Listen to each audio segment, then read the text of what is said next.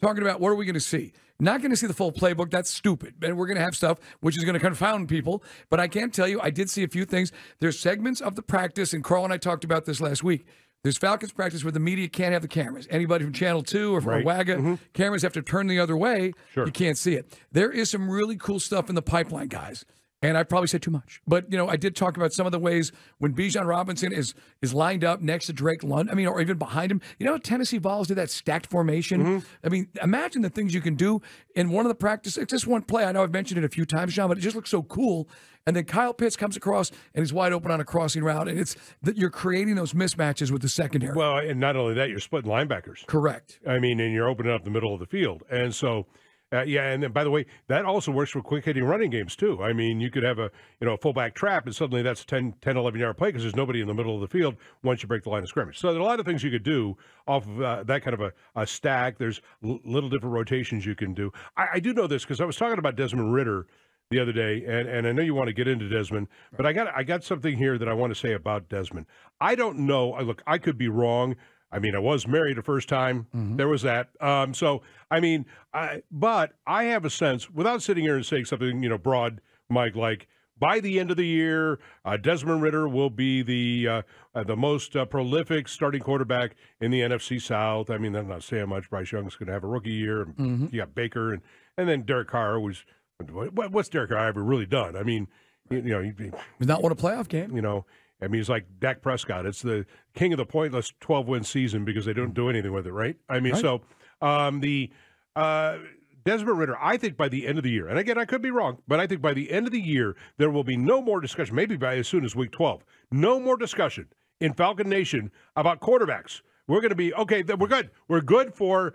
It's 2023. Talk to me about quarterback in 2032. I think Desmond Ridder could be he's not going to he's, either going to fail right and it's going to okay we're back on that wheel again or he's going to do what i think he's going to do which is grab this job and he's going to own this job for eight ten years and now we can worry about everything else Yeah, Carl has been on my case because I'm not giving you a full endorsement just from what we saw. But again, according to what was reported down in Miami, he was answering the bell. Uh, Arthur Smith, uh, uh, effusive in his praise of how he's doing the things he needs to do. He's processing what the Dolphins were throwing at him in, in real game situations. So now, for the fans out there in attendance, or are you just going to DVR it if you got high school football on Friday night? You get a chance to see this, and people are excited. I think people are really stoked about Bijan Robinson.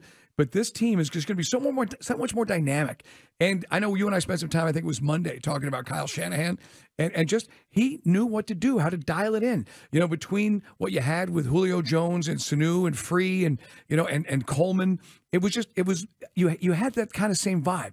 I think Arthur's an offensive genius. I think fans are finally going to see it now, John, because I like to say he's got a full toy chest to play with. Mhm, all right, Hasn't exactly. had that last Mhm. two years. right no he hasn't i mean again you're walking into a season where you have Desmond Ridder playing in a regular season game for the first time with Bijan, with with Cordarrelle Patterson. He had a little bit with, uh, you know, he never played with Mack Hollins, never played with Kyle Pitts in a regular season game. So, uh, yeah, Friday night, we, we it is going to be really interesting.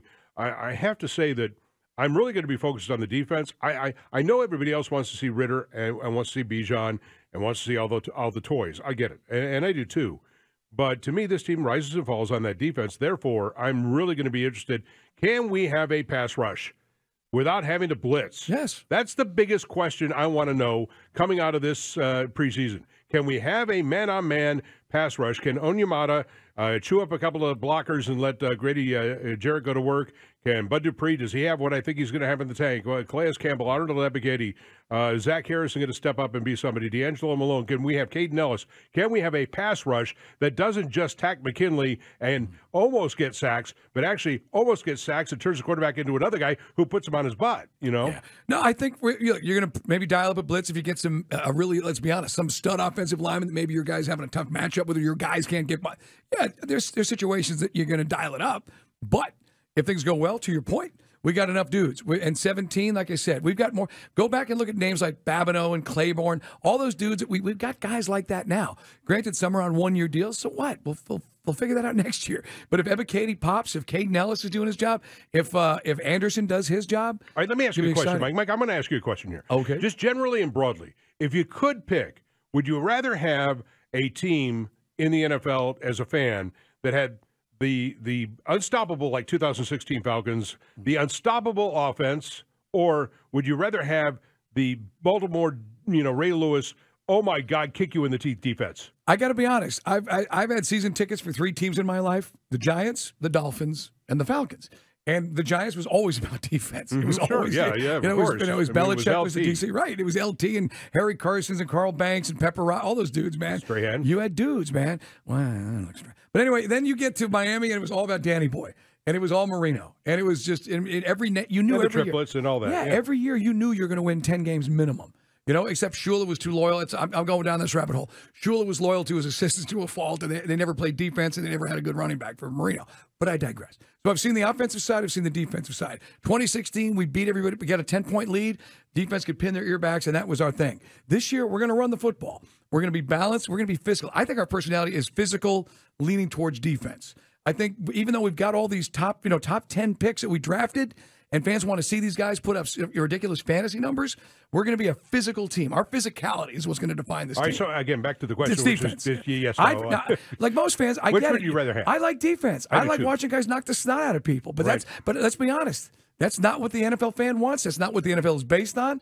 The NFL is based on offense, scoring a ton of points. So fans don't want to know about it, but you still got to have a decent defense. You know, I don't know that that's true. I mean, only because you you were a Giants fan. I mean, the Bears, the Bears when they won in '84. I'm going to take you way back. They had Walter Payton, they had Jim McMahon, et cetera, et cetera. But it was the defense. It was Dick Dent. It was that team that was just so dominating. You know, on defensively, it's so much fun to watch your club when they every time the other team snaps, they think they're going to get killed. Right. Well, no, I mean, we, we talk to Bobby Hebert all the time, and maybe next time we get Bobby on, he'll tell the story about playing the Giants in the Superdome, Lawrence Taylor at the height of his Lawrence Taylor ness. And, you know, Bobby Hebert basically telling one of his linemen, come on, man, you got to pick him up. And the guy literally is crying in the huddle. I can't, I can't, I just can't. And Lawrence Taylor is literally doing his impression of Forest Whitaker in Fast Times at Ridgemont High. Wah! Jefferson. So that's, as a fan, as a kid watching that, it was just It's a it lot was, of it's fun, dude. It's when a you lot got a fun. killer defense, it could be a fun thing And to watch. Falcon fans don't know this from Adam because we haven't had that on a consistent basis Wait, not just, uh, in sta- 20 years. No, well, 20. How about, I mean, I'll go. I, I, 98. How about the old guy weighs in right here? The Grits Blitz in 1977, Right. uh, where we had a defense. Go look up at 1977 and see the Falcons' year in 1977. Look at the opposing team scores 7 0, 7 7, 7 3, 14 0, 0. I mean, nobody scored on us. Right. And we and we blitzed every bloody down, and the, the Fulton Kuykendalls of the world were wreaking havoc on the other team. That was the Grits Yeah, Blitz. and there's look, there's been some great individuals that have come through here. Scott Case, Oh, Pri- sure. Claude Humphrey, Pridemore and Glazebrook, Of Tommy. Nobis, all these guys that would be you know Hall of Fame if they played in other cities. But I go back to '98. The bomb squad was physical. That was Yeah, the bomb squad was physical, right. Chuck Smith and Arsham Yeah. And Shane Dronett, those Yep. guys were physical, man. And then you get back, and then we had guys like Rod Coleman and Patrick Kerney. But you know, and then the Predator, we had Abe, but we got to we got to get John Abraham on again, maybe by the end of the week. yeah, because Abe was a monster. Yeah, but Abe never had anybody opposite. I him. know he did. That's the thing that drives you crazy. Can you imagine the numbers he would have And by the way, take a look at Predator. I've said this last time we had him on at the show, and he's a great dude. And he'll be the first to tell you he had his struggles. He's got his life is on the rails. He's doing great. Predator is he's got to be in the Hall of Fame. I know he played on some uh, some Falcon teams that didn't do much in the playoffs, but this guy was money. He went, he did go to an NFC Championship. Mm-hmm. Right. I agree. And the guy was a stud. And look and look That's at why I hate numbers. the Hall of Fame because Right. I mean it's like yeah really okay whatever it's so subjective if Yeah. you don't have the juice of the big market Exactly. or the big media coverage. or you know I mean not your fault that the offense couldn't get anything going. Hey, before we break, I want to give you here's here's Ridder. We were just talking about Patrick Mahomes Oh, sorry. earlier in the week. Was saying, "Oh, it's cool. We just kind of it's what we do. We, we- you know, we go down the rabbit hole." Mahomes talked about needing to get some contact. Some quarterbacks, I know it's tricky for veterans. In this case, here's a guy with four games under his belt. Listen to Ridder talking about how juiced he is to play. Obviously, you know, I'd love to get hit once or twice in that game just to, you know, kind of shake some of the rust off. I wouldn't say preseason doesn't matter. Um, for me, you know, every single game, every single snap matters. Like I said before, you know, none of the none of these games or none of these plays are guaranteed. Um, but for me, you know, it's obviously about going out there and sort of trying new things. Obviously, we do a lot of that at practice. Um, but you know, it's trying new things, but being safe with the ball. There are two types of Falcons fans: one who knows that that's your quarterback, and the other who hadn't figured it out yet. Coach says it's his guy, so you better get with the program. And uh, hopefully, we'll see some things that everybody will be gushing about for you working on the weekends. And then Carl and I on Monday,